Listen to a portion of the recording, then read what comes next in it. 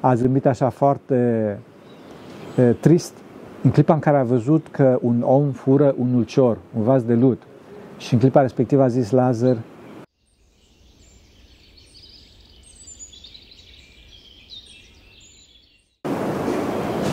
Slavă Tatălui și Fiului Sfântului Duh și acum și purea și în vecii vecilor. Amin. Pentru că cine Sfinților Părinților noștri, Doamne Iisus Hristos, Fiul Dumnezeu, miluiește pe noi. Amin.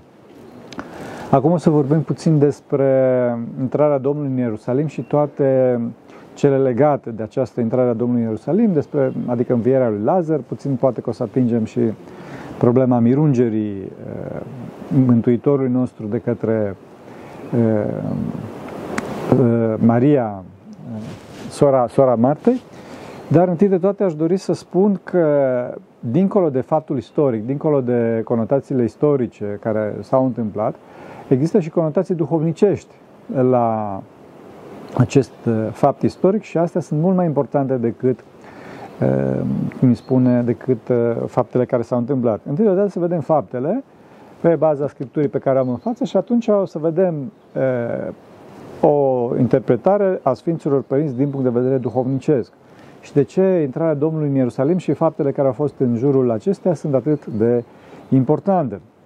O să spicuiesc din Scriptură, nu o să vă țin foarte mult pentru că textul este foarte lung și, din păcate, o să vi se pare plictisitor.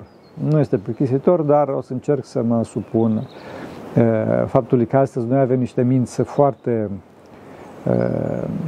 foarte bolnave de păcat și deci nu avem o capacitate de concentrare atât de mare încât să putem să ascultăm cuvântul Evangheliei cum ar trebui să-l ascultăm.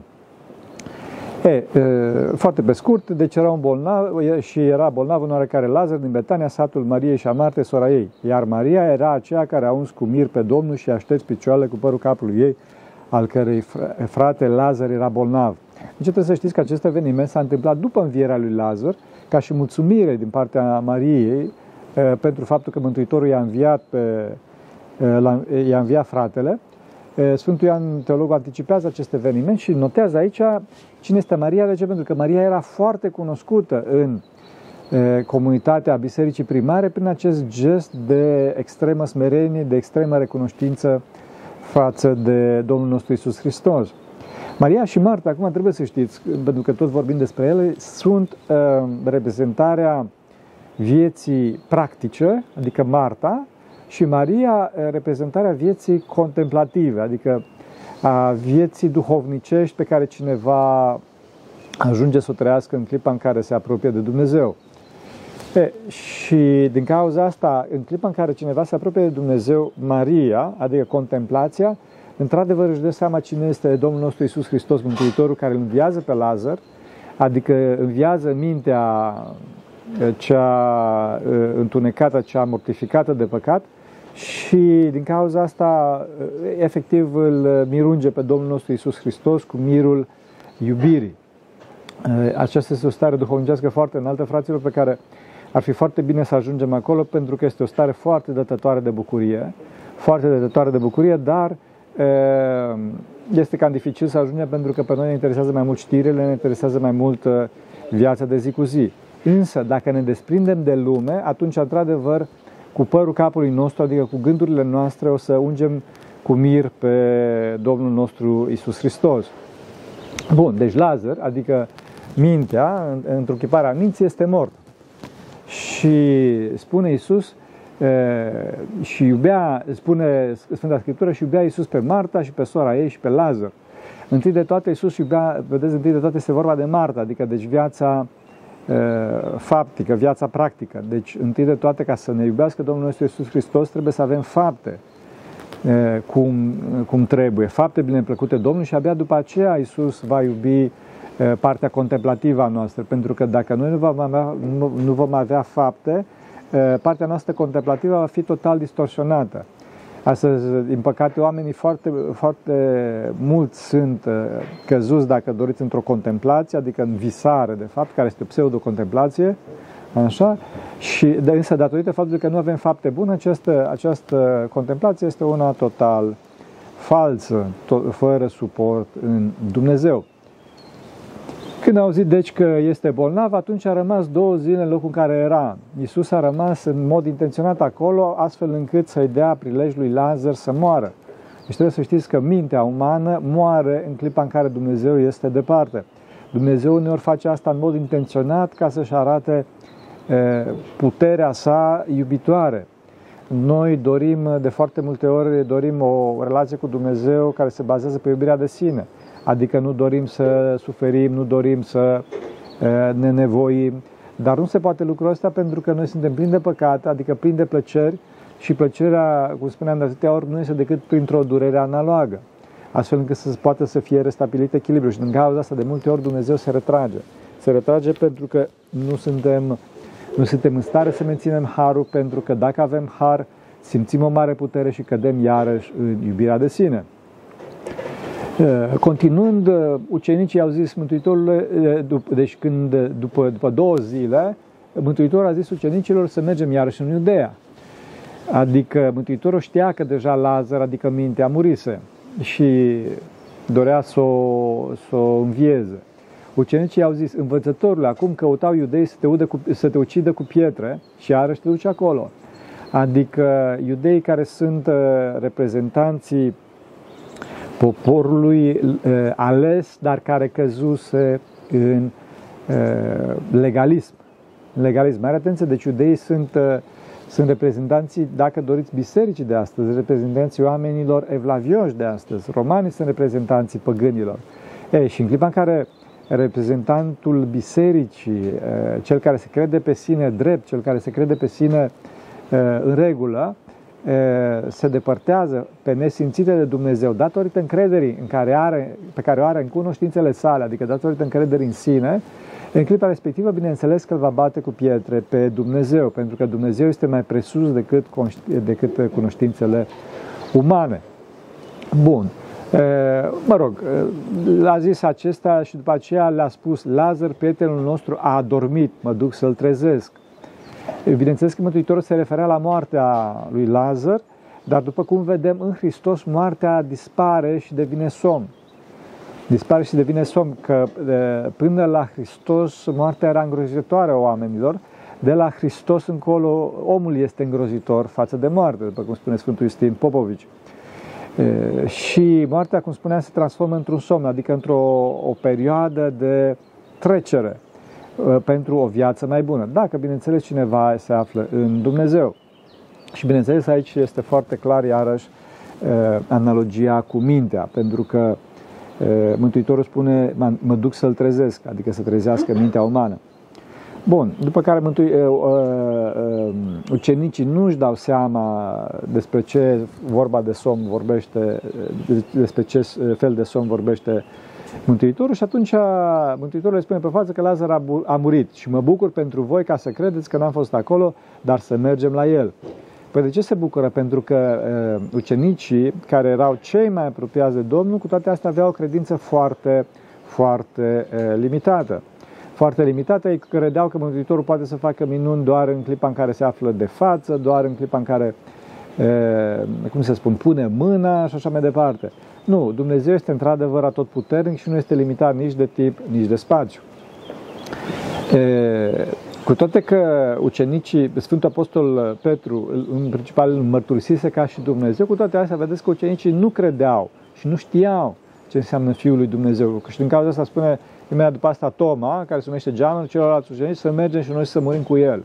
Ei, fraților, dacă aveau conștiința că este Dumnezeu, atunci nu-i mai interesa că o să moară sau o să trăiască, pentru că moartea este depășită în Hristos. Moartea este depășită în Hristos. Mă rog, merge în Betania, unde era întâmpinat Lazar, și Marta, când a auzit că vine Isus, a ieșit în întâmpinarea lui, iar Maria ședea în casă. Adică totdeauna cine întâmpină pe Hristos? Întâmpină pe Hristos e, faptele bune. Pentru că Marta este icoana faptelor bune.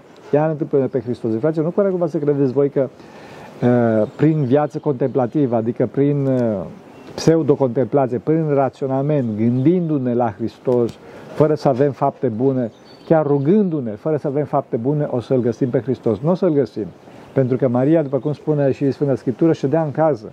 Deci avem nevoie de fapte bune, avem nevoie de jertfă. Și a zis Marta către Iisus, Doamne, dacă ai fi fost aici, fratele meu n-ar fi murit. Dar și acum știu că oricât te vei cere de la Dumnezeu, Dumnezeu îți va da. Deci vedeți că Marta nu avea conștiința faptului că e, Domnul nostru Iisus Hristos este chiar Dumnezeu și putea să facă e, orice fel de minune și era stăpânul ade- adevărat al e, vieții și al morții. Ea credea că trebuia să fie Dumnezeu prezent acolo. Care, desigur, este și asta o credință, dar nu o credință desăvârșită. Bun, i-a zis Iisus, fratele tău va învia.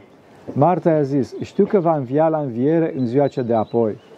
Și Iisus i-a zis, eu sunt învierea și viața, cel care crede în mine, chiar dacă va muri, va trăi. Și oricine trăiește și crede în mine, nu va muri în veac. Crezi tu aceasta? Zisa lui Marta, da, Doamne, eu am crezut că Tu ești Hristosul, Fiul lui Dumnezeu, care vine în lume. Bun.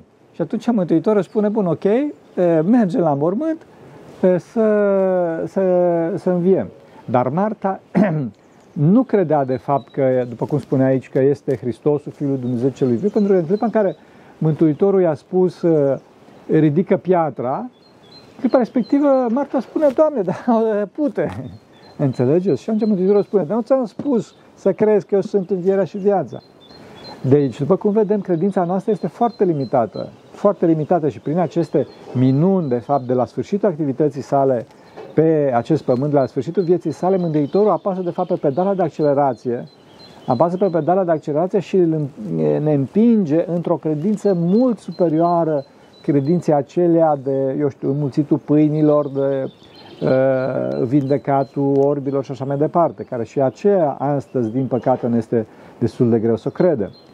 Deci Mântuitorul le arată foarte clar celor două surori faptul că el, el este stăpânul vieții și a morții. Și dincolo de asta, trebuie să știți că în clipa în care au apărut cele două surori acolo, în clipa respectivă Mântuitorul a plâns. Trebuie să știți că acesta este cel mai scurt și cel, cel mai mic și cel mai mare verset din toată Sfânta Scriptură. Și a lăcrimat Iisus.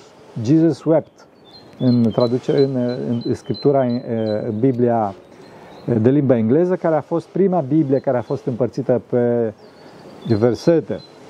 Și să știți că fratele, monahul care a făcut această împărțire pe versete a fost atât de impresionat de acest verset că l-a lăsat singur. Era, e vorba doar de două cuvinte. Jesus wept. A lăcrimat Isus. De ce?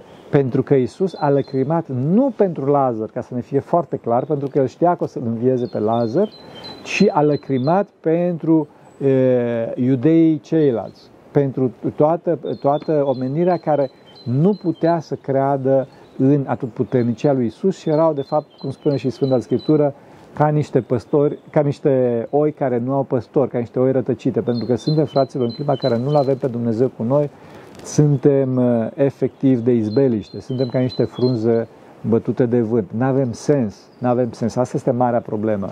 Omul nu are sens, nu are orizont, nu are destinație în clipa în care nu există Dumnezeu. Iudeii, bineînțeles, plini de iubire de sine, cum suntem toți, zice, iată cât de mult îl iubea pe Lazar. Deci nu se gândeau că uh, Mântuitorul îi plânge pe ei, ei credeau că ei sunt, sunt bine, după cum și noi credem astăzi că foarte bine, Așa? Ei credeau că îl uh, plânge pe Lazar. Iar unii dintre ei ziceau, nu putea oare acesta care a deschis ochii orbului să facă așa ca și acesta să nu moară? Deci, după cum vedem, uh, e vorba de o, de o limitare foarte așa de plâns, într-adevăr, a credinței. Oamenii, noi suntem limitați, de, fraților, trebuie să știți, suntem limitați de mintea noastră.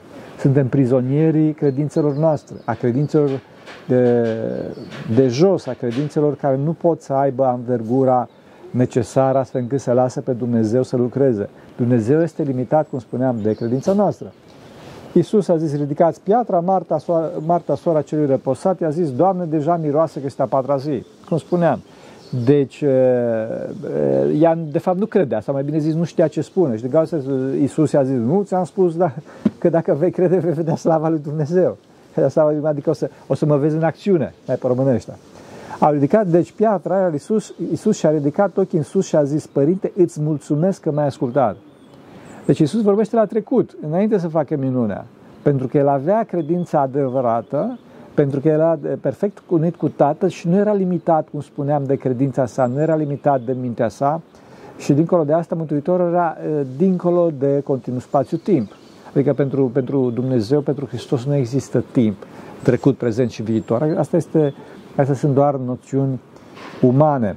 Eu știam că întotdeauna mă ascult, dar pentru mulțimea care stă împrejur am zis ca să creadă că tu m-ai trimis. Deci Mântuitorul face minunea asta pentru noi, pentru neputința noastră. Nu face, nu, nu face circ, înțelegeți? Este foarte important.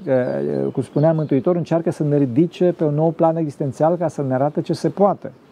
Să arate ce se poate. Deci dovada faptului că Mântuitorul este trimis de către Tatăl este ascultarea desăvârșită a Tatălui față de Fiul, ca să nu creadă că tu m-ai trimis, și și a Fiului față de Tatăl.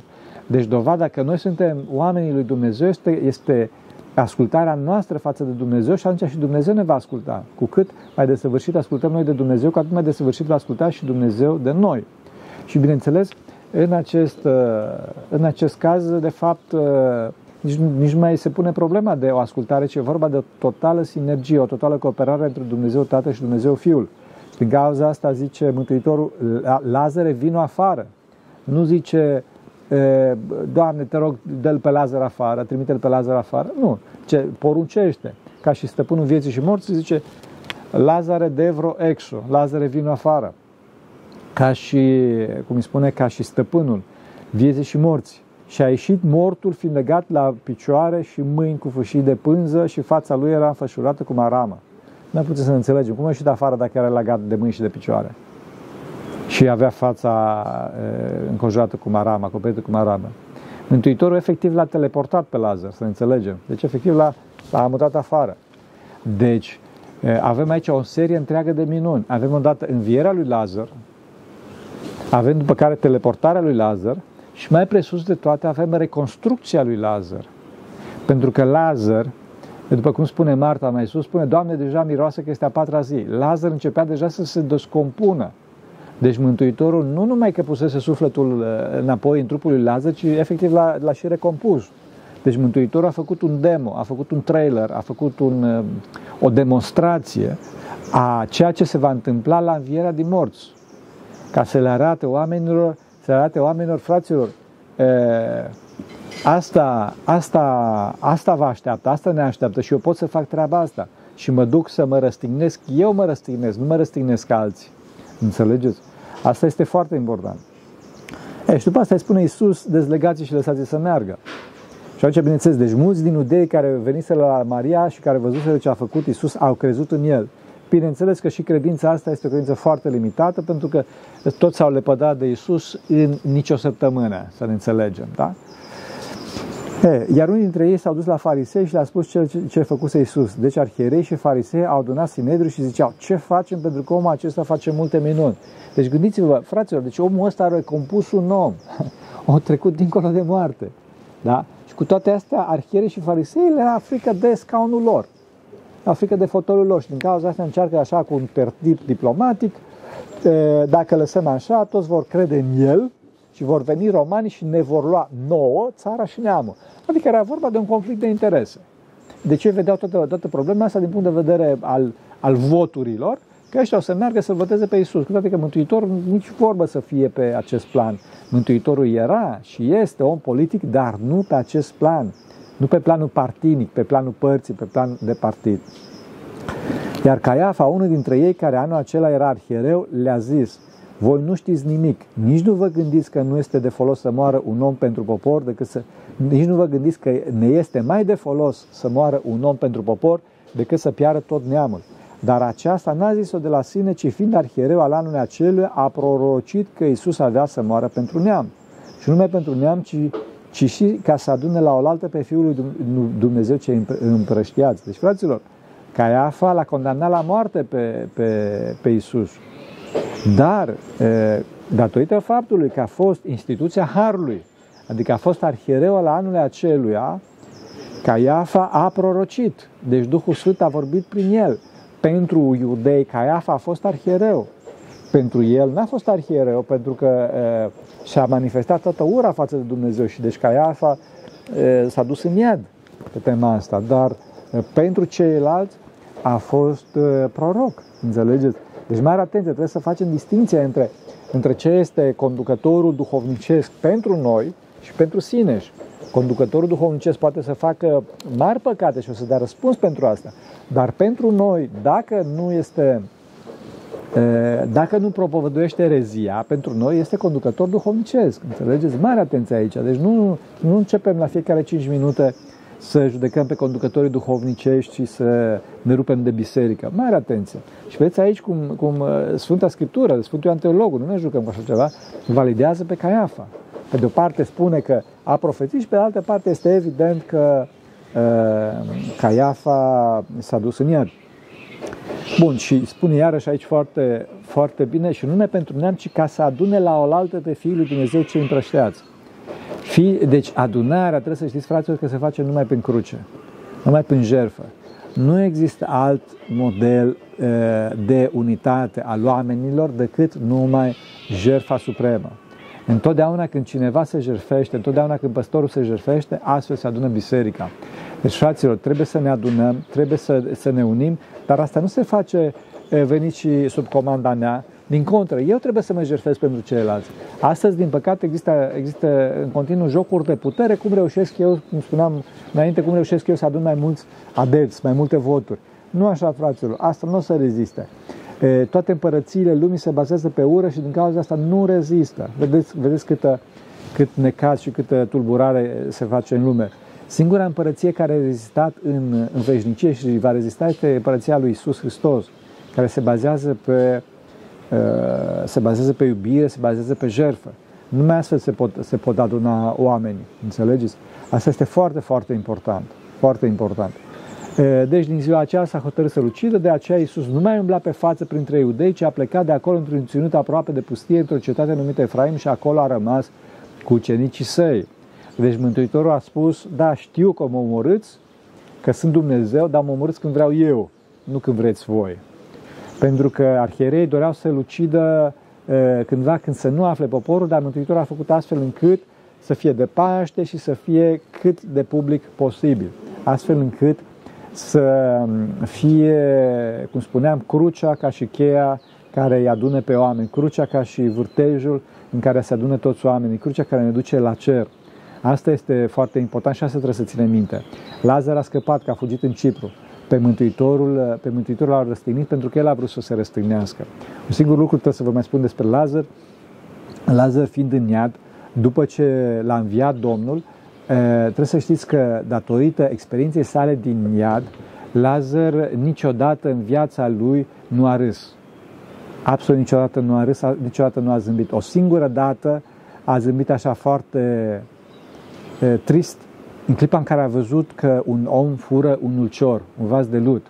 Și în clipa respectivă a zis Lazar, na, noroiul fură pe noroi. Noroi fură pe noroi. Da, asta este drama noastră, că suntem niște noroaie și încercăm să ne furăm unii pe alții. Încercăm să ne batem. Pe când Mântuitorul a venit ca să ne arate calea unirii, calea iubirii, prin cruce și prin jertfă. Și pentru asta l-am răstignit. Să ne ajute Bunul Dumnezeu să înțelegem ceea ce trăim și să avem, uh, să avem uh, cunoștința de plină a ceea ce ne oferă Hristos prin credință. Acum m-am lungit și o să vorbesc altă dată despre intrarea Domnului nostru în Ierusalim. Să ne ajute Bunul Dumnezeu pentru că cine Sfinților Părinților noștri, Doamne Iisuse Hristos, Fiul lui Dumnezeu, milește pe noi. Amin.